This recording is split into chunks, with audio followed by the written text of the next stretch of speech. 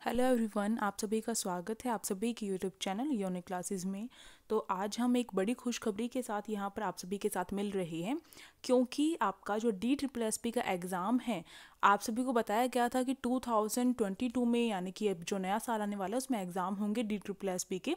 पर first time ऐसा हुआ है कि डी ट्रिपल एस बी ने क्या किया है, अपने जो एग्ज़ाम है, उसका कैलेंडर जो है यहाँ पर जारी किया है।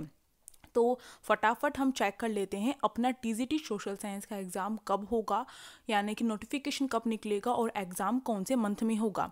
यहाँ पर आपको जो यहाँ पर आपको जो वैकेंसीज़ हैं वो तो नहीं बताई गई हैं।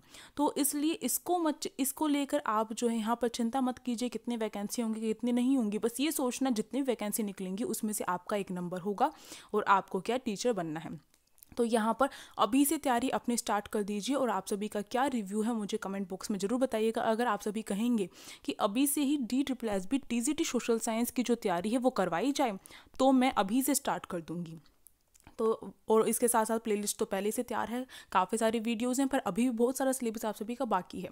तो आप सभी बताइएगा, और बाकी किसी को भी देखना है, अपना कोई भी एग्ज़ाम तो उसके लिए मैं ये जो ये जो पीडीएफ है, इसका जो लिंक है डाउनलोड करने का डिस्क्रिप्शन बॉक्स में दे दूँगी, वहाँ पर जाकर आप डाउनलोड कर सकते हो।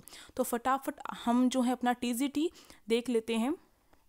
तो देखिए ये ऑफिशियल है, इसे आपको पता चल रहा होगा यहाँ पर। और ये देखिए आपका टीजीटी सोशल साइंस का एग्ज़ाम कब होगा। तो टीजीटी की जो पोस्ट हैं, वो कौन कौन सी English mathematics social science natural जो साइंस है, संस्कृत, उर्दू, पंजाबी और हिंदी। इन सब की हैं और इनमें क्या है आपका जो टी सोशल साइंस का उसका एग्ज़ाम जो है आपका सातवें महीने में होगा।